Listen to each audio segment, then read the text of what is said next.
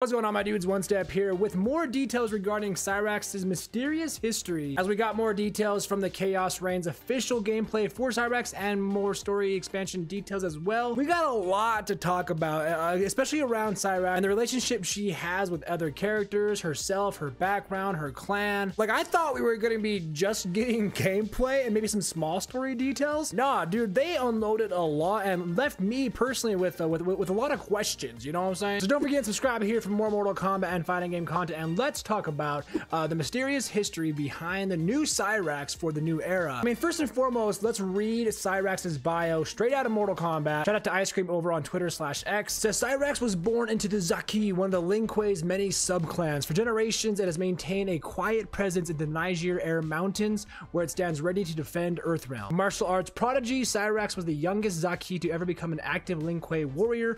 That success earned her an invitation to serve directly under Sektor. So Sektor is a, a Grand Master of sorts, it seems. Cyrax sees the opportunity with her trademark vigor, but while her skills have endeared her Sektor, her independent streak has not. Despite Sektor's best efforts to break it, Cyrax's will remains untamed. She will serve the Lin Kuei on her own terms or not at all. Which kind of plays hand in hand, of course, with Sektor's bio, which says, Master Armorer of the Lin Kuei. Sektor grew up immersed in the Lin Kuei culture. Her mother was a leading warrior. Her father was its Master Armorer, which as you can see is where they get the armor from, it seems. Sektor marveled at his flawless work, apprenticing with him. She eventually surpassed her father's skills, so she made her own armor. When he retired, she took his place. Sektor always wanted to honor her mother's legacy. Now her vast knowledge of weaponry and her formidable martial arts skills made Sektor a combatant like no other. Sensing Sektor was a kindred spirit, Sub-Zero shared with her his grand vision for the Lin Kuei's future, and she joined his efforts immediately. Now Sub-Zero's most trusted lieutenant, Sektor will force the Lin Kuei to evolve, and those who cannot change will be eliminated. So basically, Sektor is just like uh, Sub-Zero's right hand man. And Cyrax is like,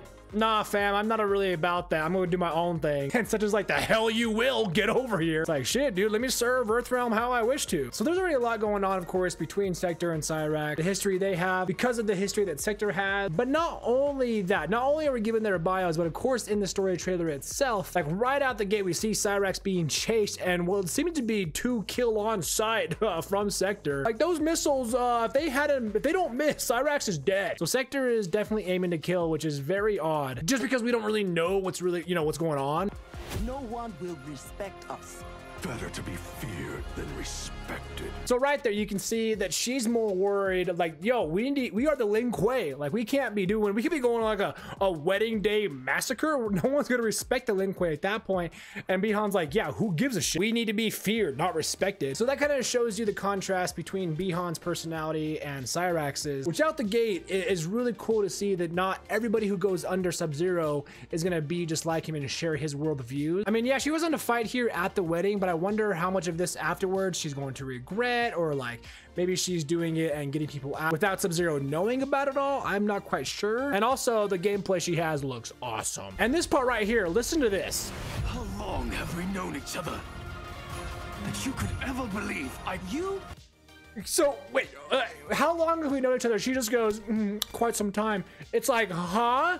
So no, no, no questions were answered in that, and he just goes that you would ever think I would, and then she just interrupts, and you're like, think you would what? What do you mean? I, you vanished. So this sounds like this already starts to sound like I was a little girl and dad left to go buy some milk and never came back, and Scorpion's the dad that just never came back. I, I don't think that's the case. Maybe it is. Maybe Scorpion had like a past lover, and this is his unbeknownst daughter. We I don't know. That's what it sounds like, but but I don't I don't think that's the case. Without explanation.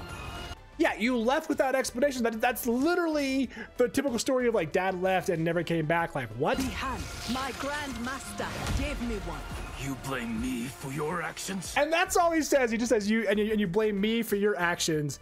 That sounds like a typical from like a movie, like a daughter fighting her long lost father and be like, "You left me when I was young," and he's like, "I didn't even know about you. You blame me for your actions." Like that sounds like typical dialogue you might hear between a father who either didn't know had a daughter and left or did leave on purpose to, you know, for for the for the better good for her, and now it's coming back to haunt him. I don't know. I don't really see it as like father daughter. I I don't know. It's either got to be that or as simple as like you know he was the grandmaster, like he was her grandmaster as a child and he left. Maybe it's something to do with family, not directly father daughter, but maybe it is family somewhere somehow. Maybe it's just friendship. Maybe I'm reading too much into it, but there's definitely some history here. How long have we known each other? That you could ever. That look right there. That look right there of like, hmm, you don't know, you don't remember. How dare you? It's like, what the freak? She's literally judging him so hard right now, but we're just for him questioning how long have we known each other. Okay, wait, new, new theory now. What if it's not like a daughter, father, but an ex girlfriend? Maybe she's like pissed about going to the wedding because like she knows that uh, Kuai Liang is her ex, and now he doesn't remember. But why would he not remember? That's also the thing. Is like he questions how long have we known each other, or maybe that's him questioning, yo, how long have we known each other? Come on, like 20 years, you know this. So maybe he's not actually questioning it. Maybe he's asking it rhetorically. Let's watch that with a new eye. Maybe they're exes. How long have we known each other? That you could ever believe I Yeah, maybe that's it. Maybe he's like, how long have they known each other? Come on, you know me. Like you, you know who I am. How could you think that I would ever do that? You vanished without explanation. Yeah, okay, okay, so maybe, okay, okay, so maybe, maybe ex-boyfriend, he vanished without explanation in the night. Maybe an ex-lover, he goes, yeah, I got a dip for your own safety or something, and now he came onto a new life. Or same, same concept, but this is a different universe. So this scorpion was, you know, this scorpion's not her past lover, but she in her universe was in love with a Kuai Liang that looks just like him, plays scorpion, whatever. And he scor- this scorpion's a different universe, and and he doesn't know that, and he meets and he's like, I don't even know who you are. She's like, you were my ex-boyfriend and you just left me. Maybe that's it. You blame me for your actions?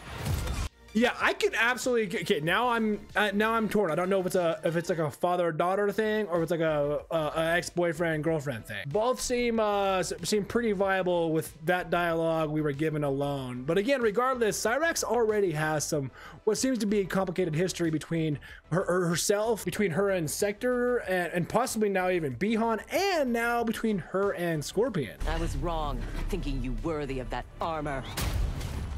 And that's a comment right there because she's the master armorer for the Lin Kuei, so which leads us to believe she made that armor for Cyrax and her potential skills. And now she's like, no, you can't wear that shit. I made that. You are my instructor and my commander. Don't confuse that with being my superior. Oh, damn, dude. That was a hard line. She goes, You were my instructor. Do not confuse that with being my superior. I'm like, Damn, that's sick. So, again, complications, a rough past. Uh, Sektor has like the superiority mindset, and Cyrax is like, I'm just trying to defend the Lin Kuei slash Earth Realm. Let me do me, fam. Why do you gotta be so angry? Yeah, so I mean, it's, it's not a ton given to us, but this complication with Cyrax, Bihan, Cyrax Sektor, Cyrax Scorpion, there's a lot going on, and I feel like I have more questions than I do answers, especially between the relationship of Cyrax and Scorpion. Like we already have a good understanding, it seems, of you know Cyrax Sektor and the whole mentor instructor uh, stuff, and then Cyrax and Bihan. She's like, I don't agree with you. He's like, come on, we gotta be feared, not respected.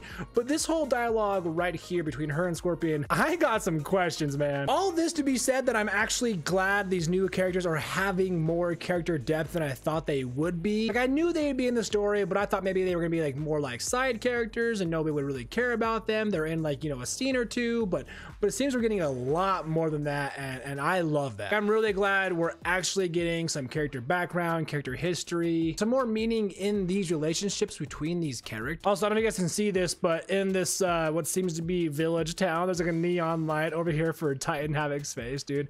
I'm gonna go to that bar. But it seems Cyrax is gonna be a really big part of the well, at least Cyrax's story with her and the characters are gonna be a pretty big part of the new story expansion for Kombat Pack 2 for Mortal Kombat 1. So with that being said though, my dudes, let me know down below what are your thoughts on the relationships uh, that we're kind of given here detail wise with Cyrax and all these other characters. Do you, do what, like what are your thoughts? What do you think is going on? Do you agree with my thoughts? Do you disagree? What are your theories? Let me know all these things down below. Subscribe here for more Mortal Kombat and fighting game content. Take it one step at a time and go ahead and click into these videos next for more Mortal Kombat news, guides, reactions, and more.